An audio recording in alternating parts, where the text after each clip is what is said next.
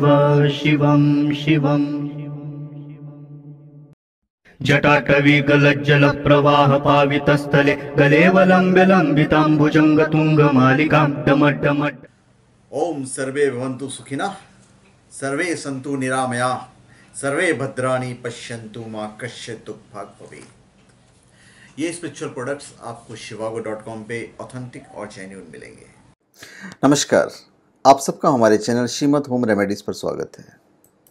और हम आपको बताएँगे विश्व के सबसे खतरनाक ज्वालामुखियों के बारे में। देखिए, ज्वालामुखी एक सोए हुए दानव की तरह होता है। ये कभी कभी जागते हैं और जब जागते हैं तो आसपास के लोगों पर कहर बरपा देते हैं और फिर शांत हो जाते हैं। दुनिया के कई ऐसे ज्वालामुखी हैं। सिर्फ़ लैटिन अमेरिका में ऐसे दर्जनों सक्रिय ज्वालामुखी हैं। लेकिन इनमें से कुछ तो बहुत ही ज़्यादा खतरनाक होते हैं। ज्वालामुखियों को प्रकृति का रोष का प्रतीक माना जाता है। ज्वालामुखी की ताकत का प्रदर्शन करने वाली घटनाओं में से एक 79 ईस्वी में माउंट वेसुवियस का विस्फोट है। यह अभी भी सबसे विनाशकारी और हानिकारक विस्फोटों में से एक के रूप में जाना जाता है। विस्फोट से न केवल पोम्पी और हरणाकुलम के पूरे शहर का विनाश हुआ, बल्कि इससे बड़े पैमाने पर नुकसान हुआ था। और पृथ्वी पर लगभग 1500 सक्रिय ज्वालामुखी हैं, और इसमें केवल वही शामिल हैं जो पृथ्वी की सतह पर हैं। विशेष रूप से पैसिफिक रिंग ऑफ़ फायर के आसपास कई और पानी के नीचे भी हैं, और इनमें से लगभग 100 दुनिया भर में जाने जाते हैं। तो चलिए मैं उन्हीं के बारे में बताने जा रहा हूँ जो सबसे खतरनाक है। एक है मोनालोआ ये हवाई में है। हवाई में मोनालोआ ज्वालामुखी न केवल सबसे सक्रिय है, बल्कि पृथ्वी पर सबसे बड़ा ज्वालामुखी है। और ये एक लोकप्रिय पर्यटन स्थल है, और विभिन्न वैज्ञानिक अध्ययनों का हिस्सा भी। ये लगभग सात लाख वर्षों से लगातार प्रस्फुटित हो रहा है। और इसके सबसे हालिया विस्फोट उन्नीस सौ चौरासी में हुआ था। ज्वालामुखी में लावा प्रवाह का व्यापक नेटवर्क है, जो आसपास रहने वाले समुदायों के लिए खतरा है। 1950 में एक पूरे गाँव की लावा द्वारा नष्ट कर दिया गया था। उसके बाद पोपो कटेपेटल, ये मैक्सिको में है। यह ज्वालामुखी पाँच मीटर ऊँचा है। और अत्यधिक सक्रिय ज्वालामुखियों में से एक है। और यही कारण है कि इसकी मॉनिटरिंग लगातार की जाती है। यह मैक्सिको सिटी से दक्षिण पूर्व में करीब 70 किलोमीटर दूर है और अगर यह विस्फोट हुआ तो करीब 205 करोड़ लोग प्रभावित हो जाएँगे। साल उन्नीस सौ चौरानवे के बाद यह सक्रिय हो गया है और इससे राख और लावा निकलते रहते हैं। इसके बाद हम आपको बताते हैं आइसलैंड का एक ज्वालामुखी है और उसका नाम है आइज़ फजल जोकुल।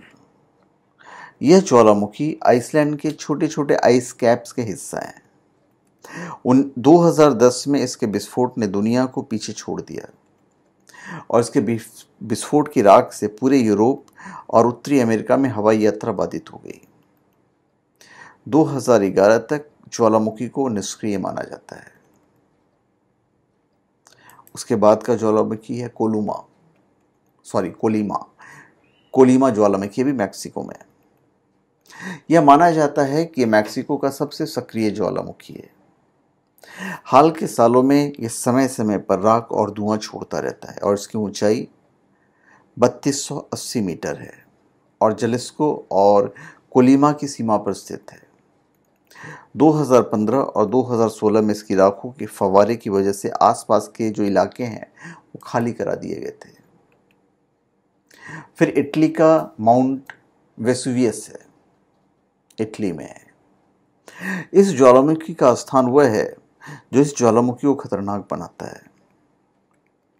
माउंट वेसुवियस नेपल्स शहर से सिर्फ़ 9 किलोमीटर दूर स्थित है। जो इस दुनिया में सबसे घनी आबादी वाला ज्वालामुखी क्षेत्र बनाता है।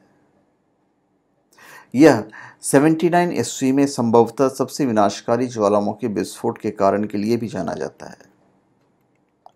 अब इसमें राख और लावा के ढेर सारे पोम्पेई और हरणाकुलम को दफनाया था और ये 20 वर्षों के विस्फोट चक्र है।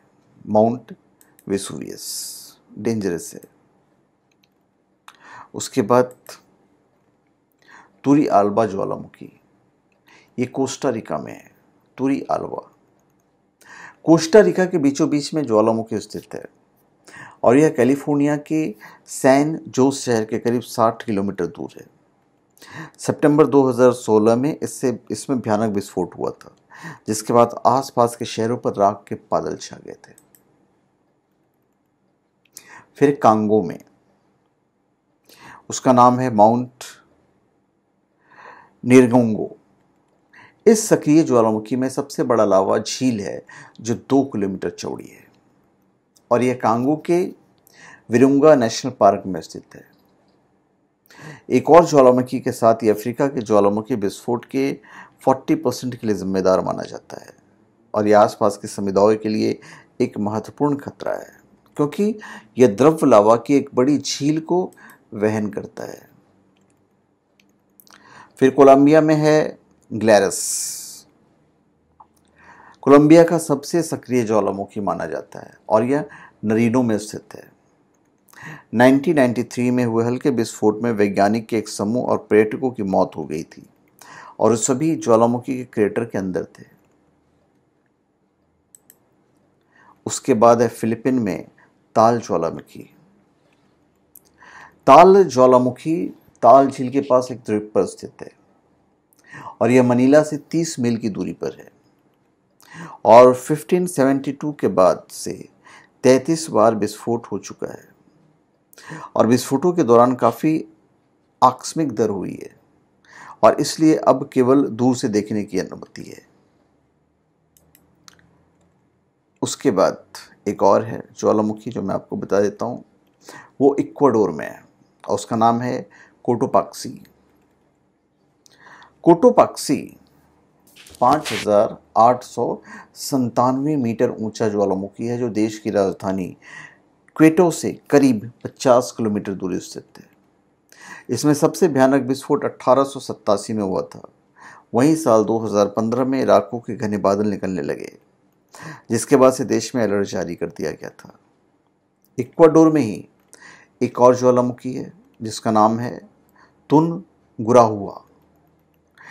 यह ज्वालामुखी पाँच हज़ार उन्नीस मीटर ऊँचा है और वह इक्वाडोर की राजधानी क्विटो के दक्षिण करीब 180 किलोमीटर दूर है। और यह साल उन्नीस सौ निन्यानवे से 1999 से सक्रिय स्थिति में है।